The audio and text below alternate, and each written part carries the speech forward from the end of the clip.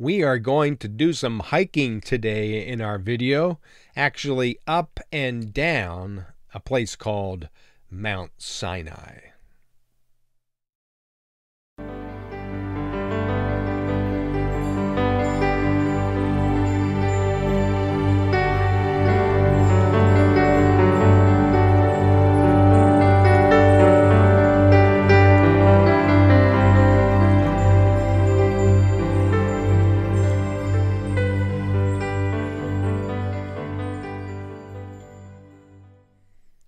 Shalom and welcome again to our teaching channel. We are so appreciative and really humbled. Uh, personally, I'm humbled that you uh, have found uh, this channel and and regularly hop on for a visit of sites around Israel and certainly uh, the connections that we make uh, with the Bible. Uh, in case you are new to our ministry, we are called Biblical Israel Ministries and Tours, and we essentially teach the Bible in the context of this land. Now, uh, this is a topography map of Israel that really helps us understand the layout, the topography, the geography of the land. Of course, we are all about archaeology, digging into the past, and uh, making these connections between, of course, the land and the Bible. But as we did in our, in our last uh, video teaching uh, to the pyramids of Egypt, today we're also heading south of Israel proper to the land of the Sinai Desert. Now, I know there are many other proposals for the uh, location of Mount Sinai. There's a couple in Saudi Arabia, there's a couple in the southern part of Israel. Uh, we're going to visit the traditional one today. It's at the very southern uh, tip of the Sinai Peninsula, and it's called St. Catherine's. The mountain is called Jebel Musa. It's about 7,200 feet in elevation, and even though the video doesn't capture the night walk up to the top, because we do it at about 1.30 or 2 in the morning uh, under the stars. I mean uh, tell i'll tell you a spectacular experience. Uh, we do this occasionally on our on our trips by the way. If you want to see the stars uh, lit up like you've never seen before uh, a hike up sinai especially when there is no moon uh, is spectacular. So even though this video doesn't capture the hike up it actually uh, simply captures our walk down when, of course, the sun uh, is up now and uh, we have uh, a downhill hike back to the monastery of St. Catherine. So that's our destination today. Again, thanks for joining us. Uh, let's go now to St. Catherine's in the Sinai Desert.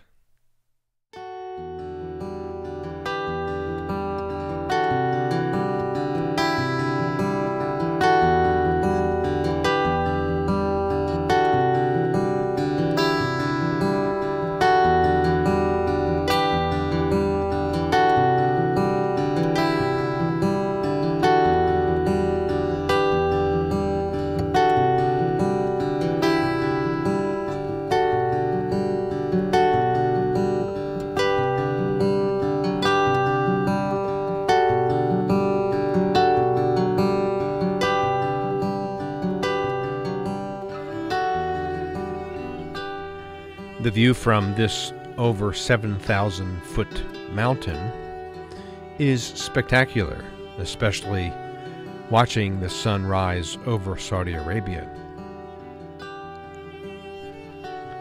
Now, there are certainly other sites that have been suggested to be the location of the real Mount Sinai. A couple alternative sites in Saudi Arabia. There's a few in southern part of Israel but this is the traditional one, located at the very southern end of the Sinai Peninsula. As the sun rises, we'll begin our descent down this mountain. Walk with me as we share this experience together. We actually just walked up Mount Sinai in the dark. Behind me is the mountain that we climbed. We left this morning at about one o'clock and we got up to the top about four and we watched the beautiful sunrise over Saudi Arabia. Always an amazing experience to think that perhaps this site of Mount Sinai, even though it's a traditional site, may have been the mountain where Moses received uh, the Ten Commandments. We're walking down now. It's a rather interesting trail. Rocky, camels all over the place. But today we sort of have it to ourselves. And it's been a great experience. Six in our group this time made it up to the top and we enjoyed, like I mentioned, experiencing perhaps what Moses did about 3,500 years ago.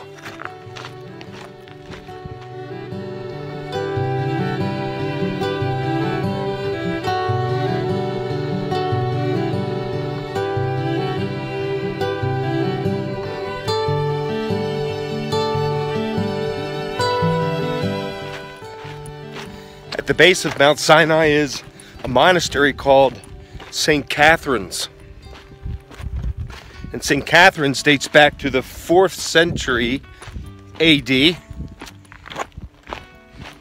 It's one of the three oldest Christian churches we have in the world, beside the Holy Sepulchre, Church in Jerusalem, Church of Nativity in Bethlehem, and of course now this monastery here in the Sinai.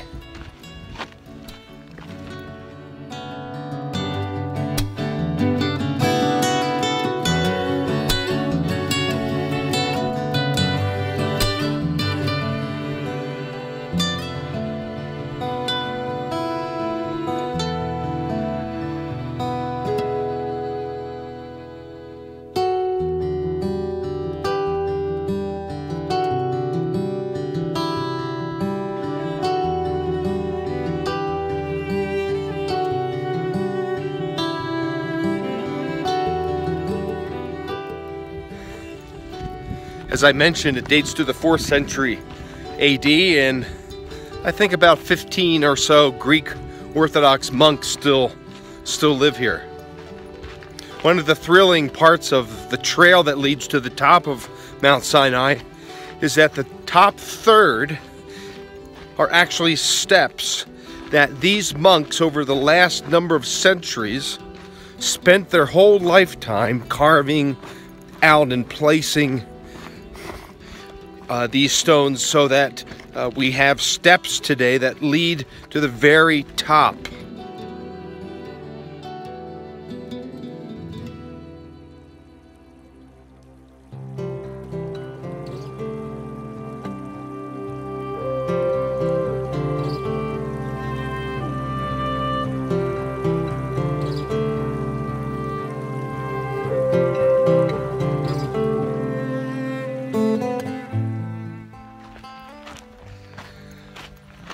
So, shalom, shalom from the mountain of God called Mount Sinai.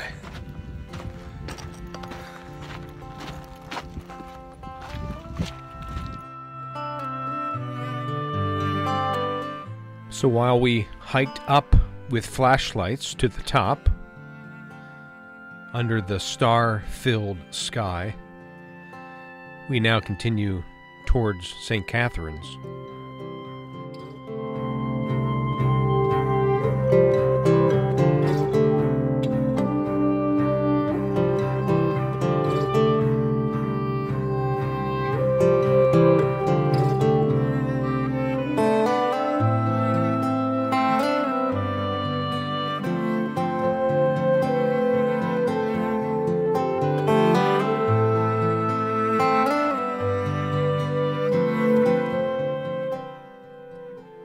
Our destination is in sight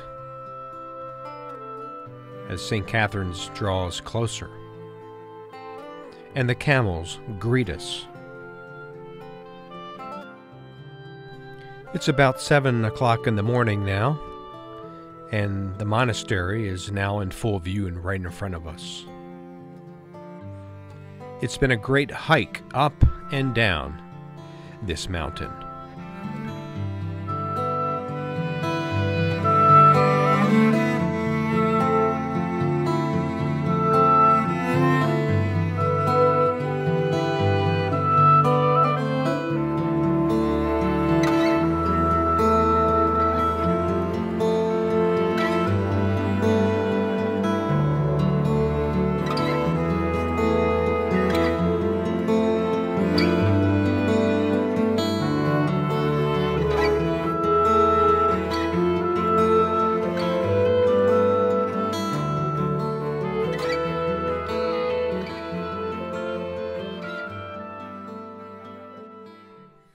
You know, one experience that I didn't mention in this video was that when we hike up, people actually have the opportunity to ride on a camel.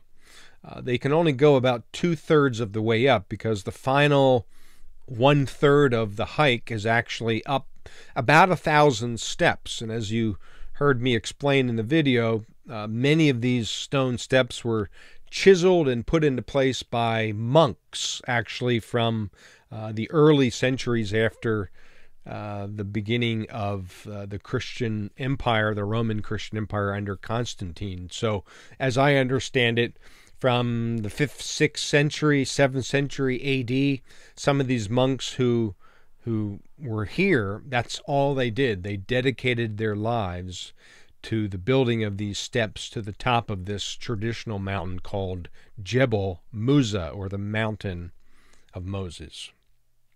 Now, for me, uh, I'm not really hung up on the location of Sinai.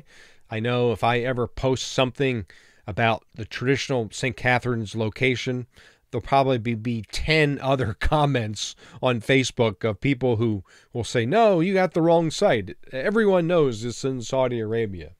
Well, this video is not to to uh, argue the location necessarily, but I think this traditional site is one of those experiences where, uh, and certainly if it actually happened here, and I, I sort of tend to uh, lean towards this traditional site, although the, the sites in Israel are very intriguing to me. And, uh, and, and indeed, these Saudi Arabia sites, you know, who knows? Uh, maybe uh, that was where uh, Moses uh, encountered God too. But uh, I, I'm I guess I'm just saying that this experience up and down the mountain, and I've done it many times now. I think it's spectacular.